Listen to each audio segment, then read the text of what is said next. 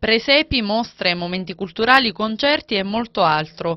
È il Natale a Scalea, un programma ricco di eventi e manifestazioni organizzati dall'amministrazione comunale e dalle associazioni locali. Anche quest'anno abbiamo messo a punto un eh, buon calendario di eventi nonostante il periodo è quello che è.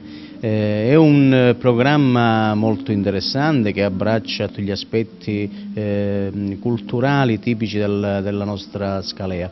Eh, lo abbiamo fatto insieme a tante associazioni che come al solito danno un valido contributo al fine di poter concretizzare questa voglia di, di fare. Cerchiamo di eh, allietare queste feste con tante attività. I momenti culturali sono stati affidati alla Proloco. Il nostro programma prosegue con eh, la presentazione del libro del professore Galiano, il 16 nella biblioteca comunale, Le più belle anime di Scalea.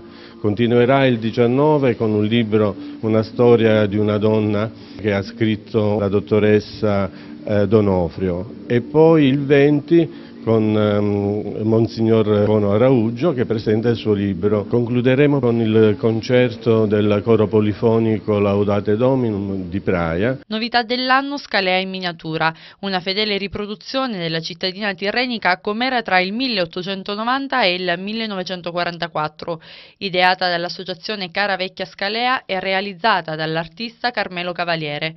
Ho realizzato finalmente Scalea come la ho visto io 40 anni, 50 anni fa. Mi fa piacere che un sacco di gente sta venendo a ammirarla veramente. Come associazione certamente eh, cerchiamo di favorire al massimo quelli che sono i valori e eh, le tradizioni di, di Scalea. Ad affascinare i cittadini e i turisti i tradizionali presepi. Verrà inaugurato il 17 il presepe di Torre Talao curato dall'associazione Vita Azzurra, è un presepe che ormai eh, si è consolidato nel corso del tempo. Eh, invece è già visitabile il presepe il, nel centro storico di Scalea, presso il Palazzo Cialli Mezza Roma, allestito dagli amici di Scalea, un'altra associazione che eh, già da anni sta portando avanti questo progetto. Devo dire che quest'anno ha destato molto interesse per come è stato ben allestito in alcuni locali storici di questo palazzo. Poi ci sono vari altri presepi che possono essere visitati in tutte le, le ore del giorno e sono dislocati ovviamente nelle varie chiese.